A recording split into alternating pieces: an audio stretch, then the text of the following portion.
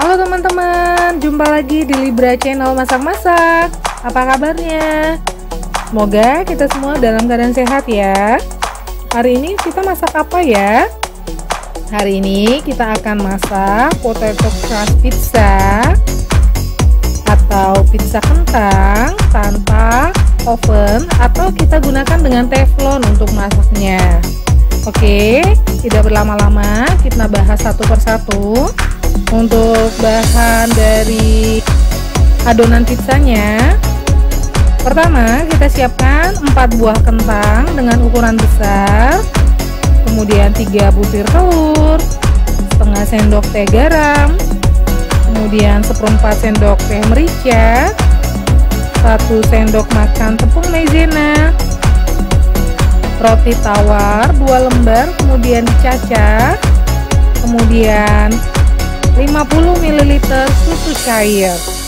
Oke kemudian untuk topping kita siapkan 4 sendok makan saus tomat setengah sendok teh oregano satu mangkok sayur campur atau mix vegetable yang instan yang sudah jadi kemudian satu bawang bombay kemudian sosis secukupnya bakso secukupnya kemudian satu sendok teh garam seperempat sendok teh lada hitam kemudian keju mozzarella atau quick melt atau cheddar secukupnya. Untuk pertama-tama kupas kentangnya setelah dicuci bersih dan kentang ini kita parut ya teman-teman ya. Untuk modelnya bisa parut kasar atau parut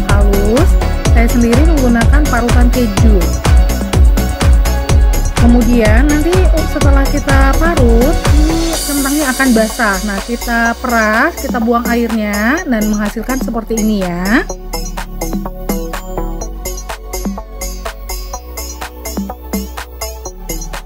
Setelah itu kita tambahkan semua bahan adonan untuk pizzanya. Kita masukkan cacahan roti. Kemudian garam, merica,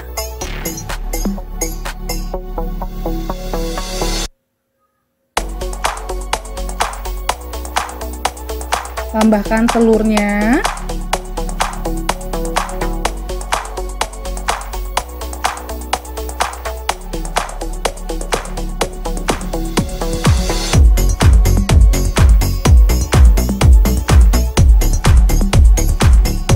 Kita aduk kembali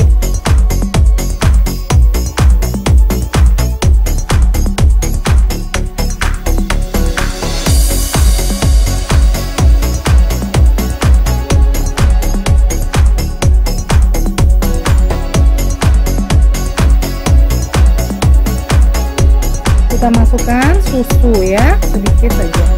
Nah untuk susu ini juga sebenarnya bisa di skip kalau teman-teman ingin adonannya lebih lembut bisa ditambah susu. Tapi misalnya teman-teman ingin lebih crunchy untuk susunya bisa di skip ya. Kemudian tepung maizenanya kemudian kita aduk-aduk kembali sampai semuanya tercampur rata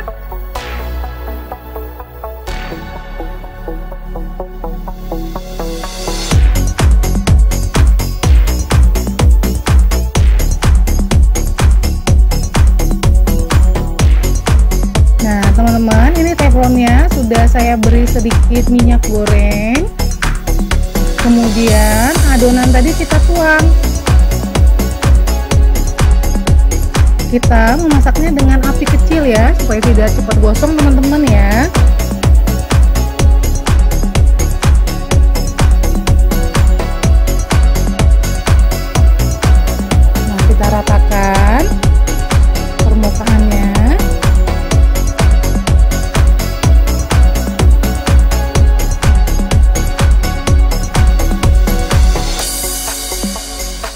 kecilkan apinya.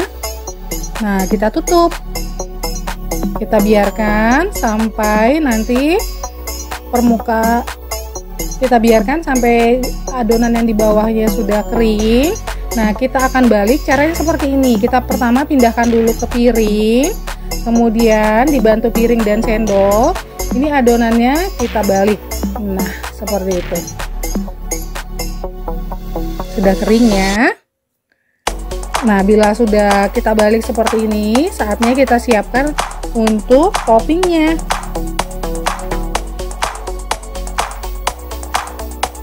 Pertama kita iris kecil-kecil bawang bombaynya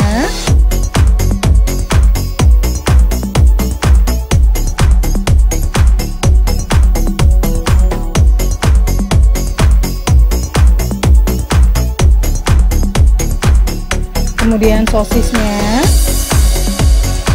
Kita iris tipis-tipis. Kemudian saya tambahkan bakso. Kita iris tipis-tipis juga.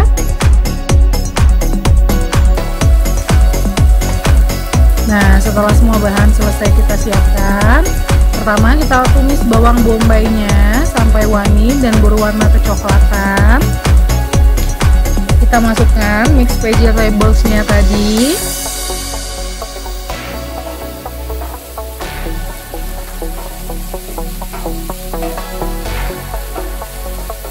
Kita tambahkan bakso dan sosis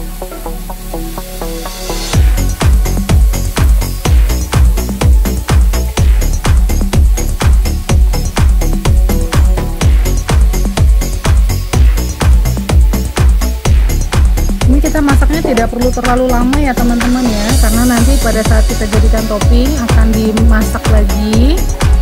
Kemudian tambahkan untuk merica dan garam.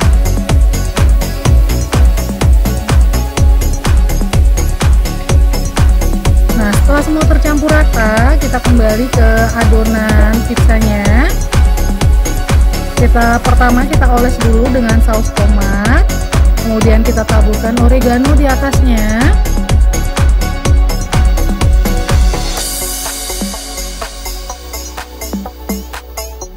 Oh iya teman-teman untuk adonan pizza ini nanti pada saat kita memasaknya kita sambil tusuk-tusuk di atasnya ya dengan pisau seperti itu supaya bagian tengahnya juga matang. Nah setelah itu kita masukkan untuk sayur-sayuran yang sudah kita tumis tadi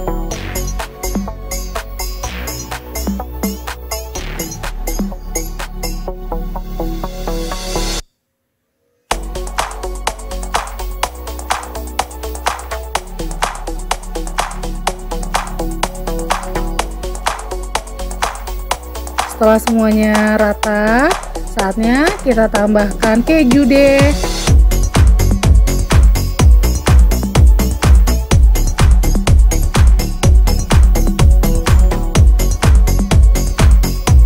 Untuk keju ini sebagian saya parut sebagian saya cincang ya. Supaya kejunya melimpah